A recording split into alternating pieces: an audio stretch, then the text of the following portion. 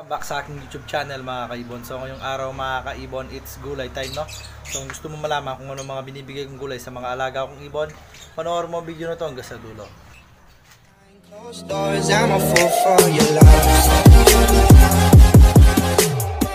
So yun no mga kaibon, nandito tayo ngayon sa aking munting ibunan. So ngayong araw mga kaibon, it's gulay time no mga kaibon. So bago tayo po, ah, bago tayo magpakain ng gulay mga kaibon no, kung napapansin nyo nung intro yan, meron tayong bagong kasang nest box ngayon no. Ayan dahil ah, na sold out na lahat ng mga pang out natin, 8 pi- ah, 8 pieces 'yon no.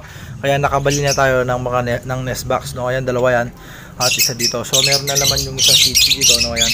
So kung napapansin nyo mga kaibon, ah yung cage natin ay commercial type no, yung normal na cage lang, hindi siya yung AC type na may pinto kagaya nito. So iba yung setup natin dito no, ayan. So yung mga setup natin na nauna, ayan, nasa harap yung nest box no, tapos nakasabit. So ito ah, naka, nakaharap din mga kaibon kaso ah, nasa gitna na siya no. So ah, kakaiba yung setup natin ngayon no. So commercial type siya na cage, yun dapat na ah paglalagyan ng nest box niya mga kaibon sa loob o di kaya dito sa side ayun no, kung may napapasin nyo may bilog, doon kinakat yan tapos dyan yung sasabi nest box no. Ayan, ayan siya oh. So mga kaibon ako, ah, kaya ginawa ko yan na nasa gitna kasi ah, tinitipid ko yung space natin dito no kasi ito na lang yung space niyan na lalagyan natin ng mga ibon. Kapag naubos na yung space ko dito, wala na ako mapapa- wala na ako mapapaglagyan ng mga cage no. So kaya yan, ang naisipan ko na ilagay sa gitna para tipid sa space no mga kaibon. Sa mga susunod na video mga kaibon, ay sasabihin ko sa inyo yung mga iba't ibang klase ng setup ng mga cage no. So ito nga ah, commercial commercial type na double cage na nilagay ko sa gitna yung nest box. Sa mga nagtatanong ah, paano ko nilagay, Ayan. So, abangan nyo lang sa mga susunod na video. Tuturo ko sa inyo kung paano ko nilagay yung setup ko na ganyan. Ayan siya, oh. Ayan yung setup, ayan yung setup ko ngayon, no. Ayan. So, marami akong in-adjust dyan, no. Sa mga susunod na video, mga kaibon, ituturuan ko na lang kayo kung pa, ah, ay hindi, ah, sasabihin ko na lang sa inyo yung mga iba't ibang klase na setup ng mga cage, no. At pati ito, sasabihin ko na rin sa inyo ah, kung paano ko ginawa yung setup ko ngayon na to, no. Yung bago ko setup. So, ito, alam nyo naman siguro kung paano ko ginabi yan, no. Pero sasabihin ko na rin sa inyo sa mga susunod na video no. So ito punta na tayo sa gagawin natin ngayong araw. It's gulay time naman no. Ayan. It's gulay time mga kaibon no. So sa setup ko lang muna yung camera bago ko bigyan sila ng mga malunggay no. Yan, malunggay day ngayon. At talbos ng kamote mga kaibon no. So yan nakairera na dahil lalagay na lang natin. Yan, it's gulay time. So Ah, uh, set up ko lang yung camera mga kaibon, no? So, yung araw mga kaibon ay magbibigay na tayo ng gulay ngayon sa ating mga alagang ibon, no? Ayan, just ko lang konti yung camera. So, yan, no? So, ito mga, mga kaibon, no? Malunggay. So, medyo matagal-tagal din tayo hindi nakapagbigay ng malunggay. Ayan. Ayan, oh. Dahil nga, wala, ah, medyo busy tayo ngayon sa pag-aaral, no? Ayan. So, hindi tayo magbibigay, no? Kada pares ganito karami. Ayan. Ganyan natin.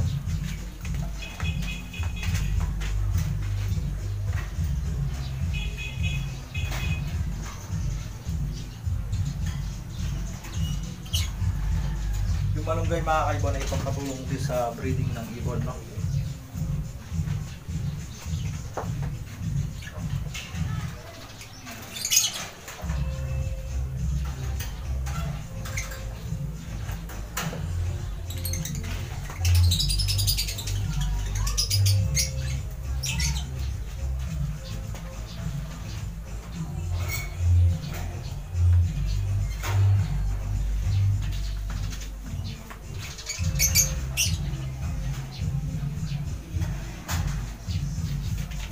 Kaibon, no, hindi ko na inugasan to mga kaibon dahil nga merong merong meron na mga itlog yung mga pair natin dito no. So malinis naman to kaya hindi ko na inugasan para kapag hinakot nila ay hindi mababasa yung mga itlog no.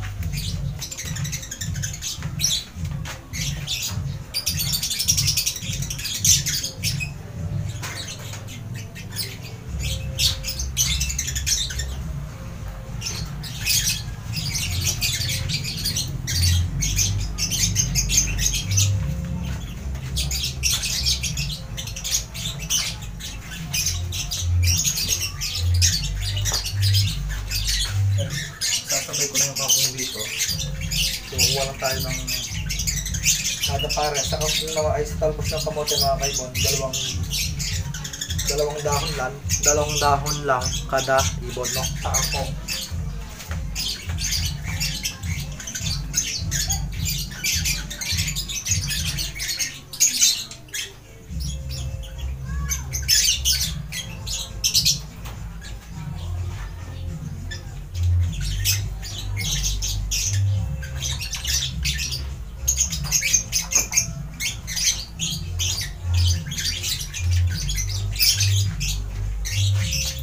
Kaibon, no, itong kangkong nakakatulong dito sa breeding ng mga alaga natin ibon, no.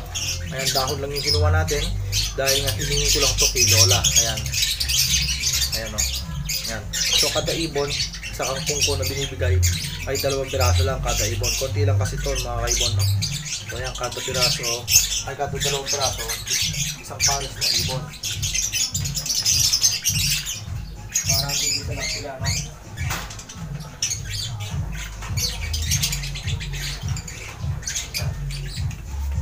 Dito mga kaibuhan sa flight feed, marami-rami rin yung binibigay natin na yan. no?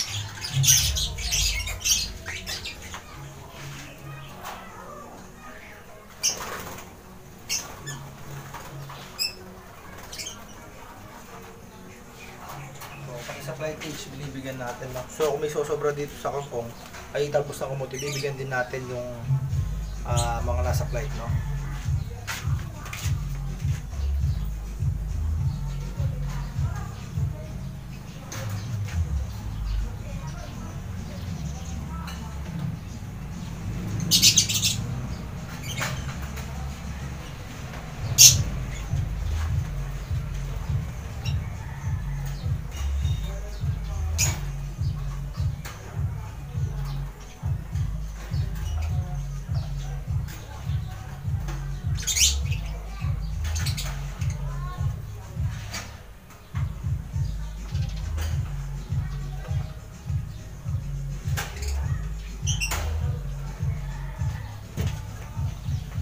So yun nga no, mga kaibuhan walang sumobra. Hindi na natin bibigay ng mga nasa flight natin. Ayan. So try papakita ko sa inyo no. Yan kung masasarapan mo sila. Ayan no. Sarap na sarap sila sa mga malunggay oh. Ang nangata oh. Ayan oh. Ayan. Ayan. So sa mga susunod na video mga kaibon no, ah, sasabihin ko sa inyo yung iba't ibang klase ng setup ng mga cage no. So abangan nyo na lang sa susunod na video yung iba't ibang class ay iba't ibang uri ng setup ng double cage no? At kung paano sinesetup yung mga ganitong pagka-setup yung nasa gitna no? Pati yung mga tuturo ko sa inyo kung paano, paano ko sila, sila nilagay. At tuturuan ko kayo ng iba't ibang setup ng mga double cage na merong nest box no? So ito nga ginawa ko lang to ayan no? So hindi naman talaga dapat dito to mga kaibon no hindi naman talaga dapat sa gitna to. So ako, so nag-decide lang ako na sa uh, naisipan ko na sa gitna lang ilagay, no. Kasi ah, para tipid siya sa space mga kaibon, no. So yung isa nandito yung ano niya. Ayan, ah, pinto. Ito dito 'yan sa kabila. So ito yung dito. Dito 'yan, no. So ako kaya nag- nag-decide ako ng ganyan para tipid sa space kasi mga kaibon kapag ah, nilagay ko sa gilid yon ah, kapag napuno na yung space na to wala na no? Wala na ako mailalagay. So ganyan tipid siya no? Hindi siya aksaya sa space. Kasi kapag nilagay mo dun yung nest box so takaw space siya no? Dagdag siya ng ganyan sa space. So kaya nag-decide ako na sa gitna na lang nilagay yung yung nest box. So huwag kayong mag-alala. Tuturuan ko rin kayo ng ganyang setup no? Sa mga susunod na video baka nyo na lang. So ito hindi ko pa nalagyan to pero isa-set ko na rin to no? Kapag na meron na ulit akong pera no? Uh, bibili ulit ako ng mga nest box. Yan so dito mga kaibon no sa future ah ayan mag, marami pa tayong malalagay na cage niyan. Makakapaglagay pa tayo doon sa dito. Ayan makakapaglagay pa tayo dito. Kasi kapag naglagay ka nest box sa gilid so ayun hindi mo na malalagay yun dito no? Hindi na natin maano yung nest box doon. At kapag nilagyan natin ng nest box sa gilid ay sosobra siya hanggang dito no? Kaya kailangan pantay-pantay. Kaya sa gitna natin ilagay no? Ayan so ayan maka marami pa tayong malalagay isa pa dito oh.